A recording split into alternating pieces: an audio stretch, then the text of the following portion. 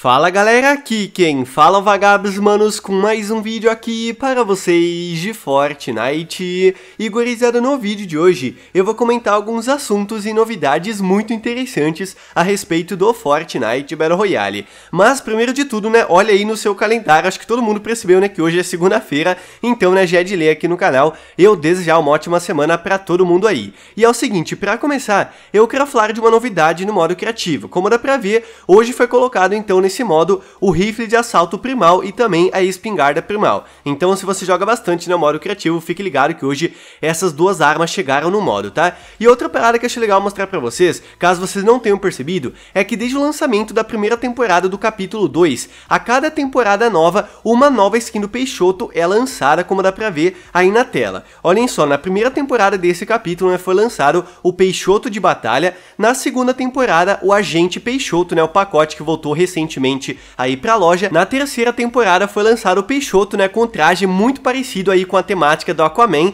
já que naquela época, né, o Aquaman tinha sido lançado, chegou também no mapa o Castelo do Coral, então, né, colocaram esse tema pro Peixoto. Na quarta temporada, o Peixoto, né, com a fantasia de esqueleto, né, por conta do Halloween, ele foi lançado aí perto do Halloween do ano passado, e na quinta temporada, né, claro, com o tema aí de Natal, olhem só, no Peixoto com fantasia de Natal, né, o chapéuzinho bem bonitinho, e agora na sexta temporada do capítulo capítulo 2, a versão feminina do Peixoto, né, a famosa Princesa Peixota, que já estava um bom tempo, né, sendo especulada aí na comunidade e finalmente, né, foi lançada aqui nessa temporada. Então dá pra ver, né, que a Epic Games gosta muito de lançar novas skins do Peixoto, né, isso todo mundo já sabia, mas caso, né, vocês não tenham percebido, pelo jeito, a cada nova temporada, desde o lançamento aí do segundo capítulo, eles estão lançando, né, novos Peixotos, vamos ver se na próxima temporada isso vai se repetir também. E, manos, outra parada que eu quero comentar com vocês é sobre um item aí de recompensa dos HQs do Batman que a imagem dele finalmente foi vazada. Tipo assim, acredito né, que todo mundo sabe, já falei diversas vezes aqui no canal,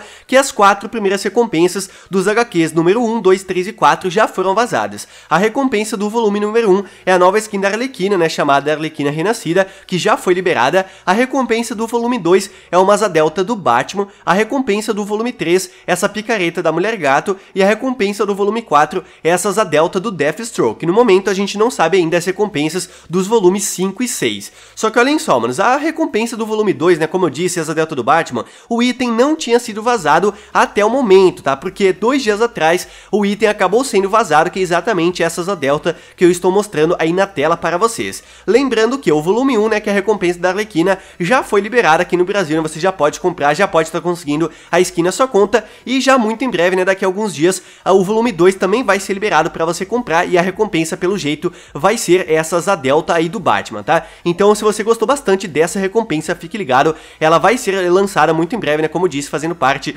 aí do volume número 2, mas lembrando novamente que se você, né, não quiser comprar o HQ do Batman, todos os itens vão ser lançados na loja, eu não sei, né, quantos E-Bucks essas delta vai custar na loja, mas enfim, vai ser outra maneira de você conseguir o item aí na sua conta também, ok? E recentemente, manos, a Epic Games fez uma pequena mudança, uma pequena mudança mesmo, na hora de você comprar V-Bucks, onde deixa, né, mais claro aí pra gente onde que a gente pode utilizar os V-Bucks em quais plataformas. Apesar de ser uma mudança bem pequena, com certeza é muito importante, porque eu sei que tem muitas pessoas que se confundem, tá ligado? Vão comprar V-Bucks em alguma plataforma e acham né, que pode usar em outras plataformas também, mas não é bem assim, tá? Olhem só o que o Firemonkey comentou no seu Twitter. A Epic Games está lançando algumas correções que tornam mais óbvio onde seus V-Bucks podem ser usados quando comprados em determinados dispositivos. Por exemplo, os V-Bucks adquiridos na Microsoft Store podem ser usados no Xbox, PC ou celular, mas não podem ser transferidos ou usados em outros consoles. Outros exemplos: todos os V-Bucks comprados na Epic Games Store não podem ser resgatados ou usados no PlayStation ou Nintendo Switch. Os V-Bucks comprados na Nintendo eShop não podem ser transferidos ou usados em outras plataformas. V-Bucks que você comprou na PlayStation, né, na loja da PlayStation, não pode ser transferido ou usado em outras plataformas. E para finalizar, né, ele fala que antes desse hotfix, tudo que você via na tela era o seguinte: todos os V-Bucks comprados em uma plataforma não podem ser resgatados em outras plataformas. Então, simplesmente, né, eles estão tornando isso mais óbvio, né, deixar mais claro para o público onde que você pode utilizar os V-Bucks, dependendo em qual plataforma você compra, tá? Como eu disse, uma pequena mudança, né, muita gente já sabia disso, mas eu sei que muitas pessoas pessoas, né, mesmo assim, né, compravam, por exemplo, V-Bucks na Microsoft Store e tentavam utilizar em uma plataforma, né, que não era compatível, tá ligado? Então, né, tá aí, agora, né, vai ficar muito mais claro quando você vai comprar o V-Bucks, vai aparecer uma mensagem dizendo muito mais óbvio onde que você vai poder utilizar, né, não deixando essa dúvida aí, né, para a comunidade. E eu percebi que nos últimos dias tem um pessoal bem irritado por conta de um bug que simplesmente rotaciona a tela, exatamente.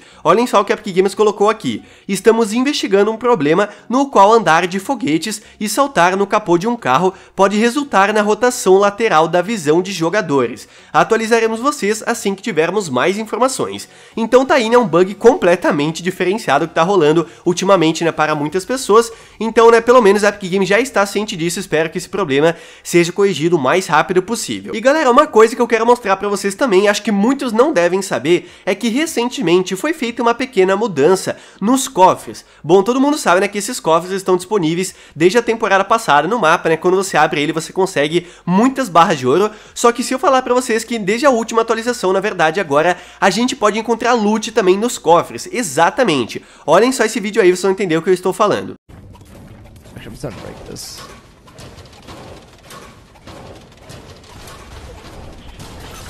What? You get weapons out of safes? Como deu pra ver, ele quebrou o cofre, né, conseguiu além de barras de ouro, né, que já era comum, itens também. E, manos, isso não acontecia antes, tá? Eu tenho certeza disso, porque eu, por exemplo, sempre abro, né, muitos cofres nas partidas, eu gosto muito de abrir cofre, né, coletar barras de ouro, e eu nunca tinha encontrado loot. Então, aparentemente, né, desde o lançamento da última atualização, na versão 16.20, a Epic Games colocou, né, loot interessante também aí dentro dos cofres. Eu não sei se é em todos, acredito que não, tá ligado? A maior parte deles ainda, quando você abre, você só encontra barras de ouro, mas enfim, né, se você gosta bastante de abrir cofres, fique ligado que dependendo da sua sorte, quando você abrir um cofre, né, você pode, quem sabe, conseguir aí alguns itens muito bons na sua partida também. Achei uma parada interessante né, para comentar aqui com vocês. Mas então é isso, galera. Espero que vocês tenham gostado aqui do vídeo. Deixe embaixo nos comentários a sua opinião sobre os assuntos que eu falei aqui. O que você acha, né, que como eu disse, desde o lançamento do capítulo 2, toda a temporada, a Epic Games está lançando uma nova skin do Peixoto. Se você acha, né, que na próxima temporada isso também vai acontecer. Se você acha que a Epic Games dá muita atenção desnecessária skin ou se você acha que ela merece toda essa atenção. Todo mundo sabe, né, que o Peixoto é uma skin muito adorada pela comunidade, então claro, né, que a Epic Games vai ficar lançando muitas skins novas dele, mas enfim, né, quero saber as opiniões de vocês, se você acha, né, que a skin já tá saturada, enfim, né, comente embaixo sua opinião sobre o assunto. E se você gostou do vídeo, manos, deixa o likezão aí, porque não custa nada e me ajuda muito, e também mande aí pros seus amigos, né, pra todo mundo ficar ligado em mais assuntos e novidades bem interessantes, e o amigo seu, né, que tá pensando em comprar o segundo KQ, né, aí do Batman, pra ele ficar ligado que a recompensa já foi vazada, como mostrei pra vocês, uma asa delta do Batman bem maneira. E se você, né, não tá afim de comprar o HQ, né, como disse, asa delta vai ser lançada na loja no futuro também, né, pra você poder comprar. Então é isso, manos, aquele abraço, se vemos no próximo vídeo. Valeu, falou, e eu fui!